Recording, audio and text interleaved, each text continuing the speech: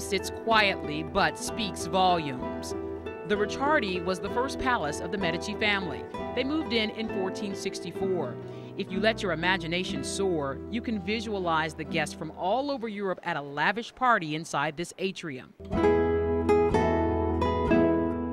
The life was sort of court life with court actors, mimes, junglers, musicians, poets, artists.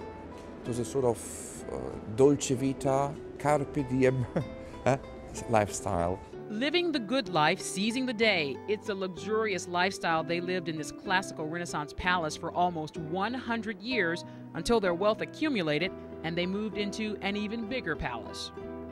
The family bought the Pitti Palace in 1550, and like many homeowners, they added on. And the palace was enlarged during the uh, 17th and 18th century. The Pitti houses the most complete collection of personal items of the Medici family, including art and jewels. You can see this amazingly detailed pearl baby in a basket at the pyramid. You'll also see hard stones like jasper. The Medici liked very much the hard stones, and we will send to Memphis many objects in precious hard stones. The family dynasty lasted 300 years, and towards the end, they moved into the Palazzo Vecchio. And not only was it their personal mansion, it was also the meeting of the Republic, kind of our equivalent of City Hall. And it had to be built large enough to accommodate a great number of the citizens of Florence. The palace maintains its original style and is currently Florence's City Hall. This is lapis lazuli.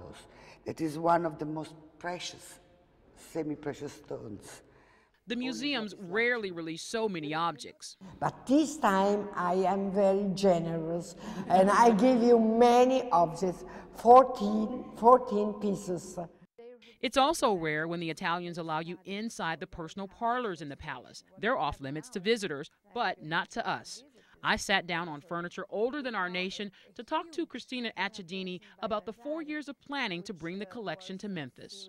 So what we tried hard to demonstrate is how this extra extraordinary development uh, encouraged artists and arts uh, and crafts uh, workshops to produce what was the best in Europe at the time.